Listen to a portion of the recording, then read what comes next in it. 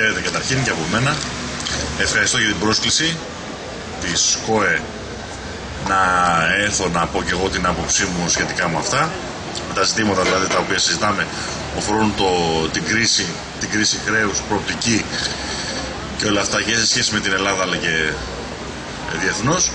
Θα προσπαθήσω να είμαι πολύ σύντομος ώστε να δώσουμε την ευκαιρία συζήτηση περισσότερο να λυθούν ή να, να αναπτυχθούν ζητήματα.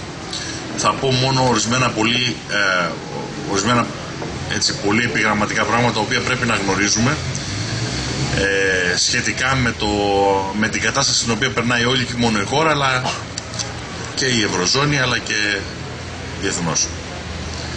Το πρώτο ζήτημα που θα ήθελα να πω είναι ότι όποιος πιστεύει ότι είμαστε σε μια ομαλή περίοδο, αυταπατάται εκτρά. Και αυτό δεν αφορά μόνο το γεγονός ότι δέχεται μια φοβερή επίθεση ε, ο εργαζόμενος λαός, ο λαός, η χώρα συνολικά, η εργατική τάξη συνολικότερα που αντιμετωπίζει για πρώτη φορά μια ιστορική επίθεση ενάντια στις κατακτήσεις της, στη συγκρότησή της, στη μία την ύπαρξή της, τέτοια που δεν έχει γνωρίσει ενδεχομένως στη μεταπολεμική της ιστορία. Δεν είναι μόνο αυτό.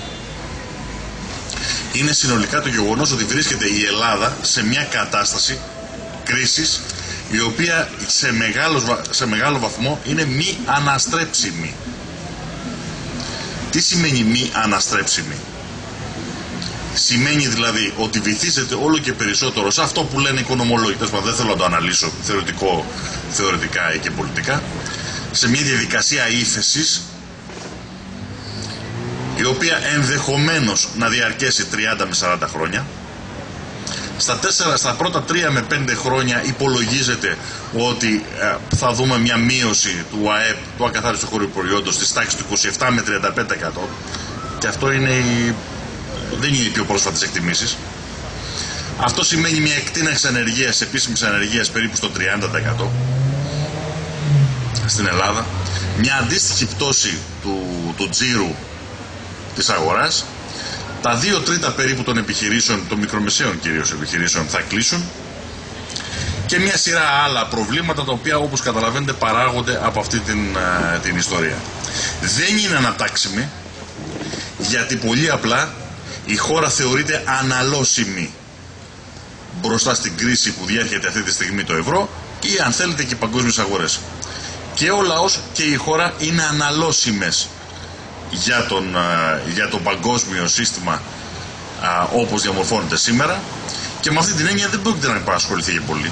Μια πρόσφατη μελέτη που προέρχεται από, την, από κύκλους πώς το λένε, πώς το λένε στα ελληνικά think tank, δηλαδή δεξαμενές σκέψεις που χρηματοδοτούνται από το, από, την από το Αμερικανικό τραπεζικό κεφάλαιο μελετώντας το πώς θα μπορούσε να δημιουργηθεί μια στρατηγική διεξόδου από την παγκόσμια οικονομική κρίση, είπε μόλις πριν μια εβδομάδα ότι η παγκόσμια οικονομία δεν μπορεί να λειτουργήσει όπως παλιά. Δεν μπορεί να συμπεριλαμβάνει και τις 186 χώρες. Δεν μπορεί να συμπεριλαμβάνει και τα 6 δισεκατομμύρια πληθυσμού, 6,5 ε, που έχει ο πλανήτης. Δεν μπορεί να συμπεριλαμβάνει όλες τις αγορές πρέπει να κινηθεί με το 30 έως 40% των αγορών με τις 20 αυτές χώρες που έχουν περίπου το 80 με 90% του παγκόσμιου ακαθάριστου χώριου προϊόντος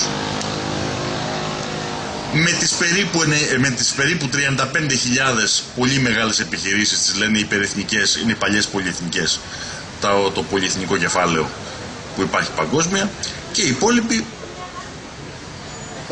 τι να κάνουμε θα σβήσει το ζωή σου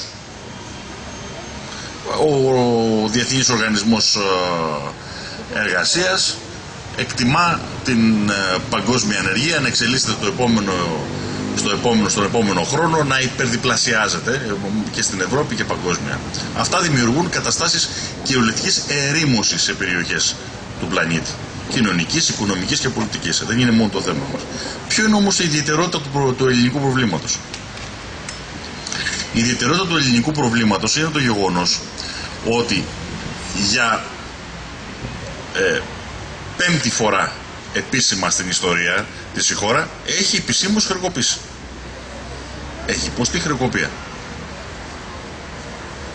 Έχει ξαναυπάρξει αυτό το θέμα, έχει, ξανα, έχει ξαναχρεοκοπήσει η χώρα. Έχει χρεοκοπήσει το 1827, έχει χρεοκοπήσει το 1843, έχει επισήμως λέμε ε, έχει ξαναχρεοκοπήσει το 1893 με το περίφημο του Τρικούπη, δυστυχώς χρεο... ευτοχέσαμε. Έχει χρεοκοπήσει το επίσημα το 1932 και χρεοκοπούμε ξανά ε, σήμερα. Ήδη έχουμε μπει σε χρεοκοπία από τη στιγμή που μας έχουν βάλει σε καραντίνα.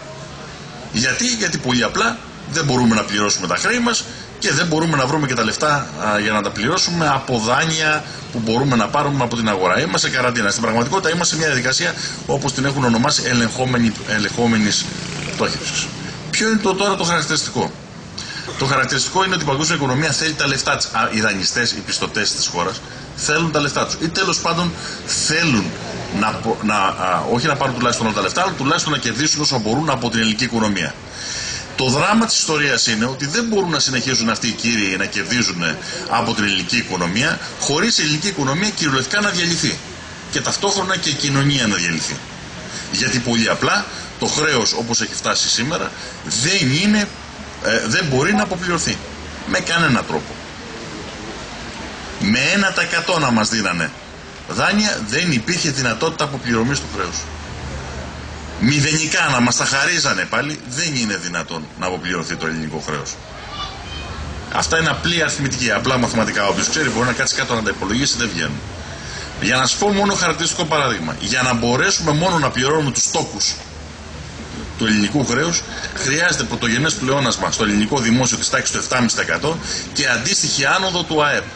Ετήσι από εδώ και μπρος, ΕΣΑΗ να πληρώνουμε μόνο τους τόκου. Και έχουμε χρεολύσια, έχουμε ανοιχτές ταμιακές ανάγκες, τρέχουν ο βαρχιπρόθεσμο δανεισμός, γίνεται χαμός. Αυτό ε, μπορεί να γίνει. Ούτε στα πιο τρελά τους όνειρα δεν μπορούν να το καταφέρουν αυτό. Δεν πάνε να στύψουν τον εργάτη στο, στο, στο, Δεν υπάρχει δυνατότητα αυτό να γίνει. Οπότε τι γίνεται; Οπότε την έχουν θεωρήσει στην Ελλάδα αναλώσιμη. Αυτή τη στιγμή, εδώ και δυόμιση εβδομάδες, τρεις, οι ελληνικές τράπεζες βρίσκονται σε κόκκινο. Τι λέμε κόκκινο. Σημαίνει κάθε μέρα, κάθε τράπεζα κοιτάει, κάνει έναν ισολογισμό ημέρας και λέει τόσες χρηματο, χρηματοπιστωτικές εργασίες είχα, τόσα χρήματα χρειάστηκα για να δω τι αύριο έχω, άρα τα έχω τα λεφτά αυτά για να εξυπηρετήσω εγώ την αυριανή μου μέρα, να βγω στην αυριανή μου μέρα. Εδώ και τρεις εβδομάδες συνεχώς οι, οι μεγάλες τράπεζες, οι ελληνικές μεγάλες τράπεζες, βγαίνουν συνεχώς κόκκινες ότι δεν έχουν τα λεφτά για την επόμενη μέρα. Και αντλούν ρευστότητα, όπως λέμε, αντλούν χρήματα από την Ευρωπαϊκή Κεντρική Τράπεζα. Έχετε ακούσει για το μηχανισμό που δίνουν τα ελληνικά ομόλογα ως εγγύηση. Έτσι και παίρνουν ε, ρευστότητα με 1% από την Ευρωπαϊκή Κεντρική Τράπεζα. Έλα όμως που με την πίεση των αγορών που αυτή τη στιγμή αυξάνεται συνεχώς τα ελληνικά ομόλογα χάνουν σε αξία. Συνεχώς, μέρα με την ημέρα. Και έτσι οι ελληνικές τράπεζες μπορούν να πάρουν όλο και λιγότερη ρευστότητα κάθε μέρα από την Ευρωπαϊκή Κεντρική Τράπεζα. Αυτό τι σημαίνει, σημαίνει ότι αργά ή γρήγορα θα αναγκαστούν να προχωρήσουν σε πάυση πληρωμών για τις τράπεζες που σημαίνει αυτό που περιγράφηκε προηγουμένως για την Αργεντινή που σημαίνει σε κάποια φάση θα πούν στους καταθέτες. Ευχαριστούμε πάρα πολύ, αλλά δεν μπορείτε να σηκώσετε τα λεφτά σας. Γιατί κινδυνεύουν οι τράπεζες. Ε, τουλάχιστον για ένα μήνα, για δύο μήνες. Και μετά βλέπουμε. Στην Αργεντινή ξεκίνησαν λέγοντας ότι μπορείτε να, να κάνετε αναλήψεις μέχρι 1000 δολάρια το μήνα.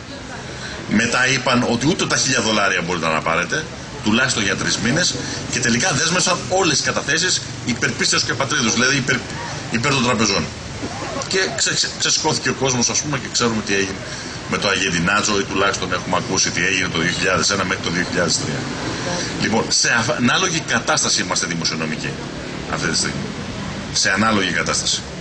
Με, τη, με την πολιτική τους λοιπόν όχι μόνο ξεζημίζουν το λαό, όχι μόνο δημιουργούν αξεπέραστα προβλήματα διαβίωσης και προοπτικής για τη μέση εργατική οικογένεια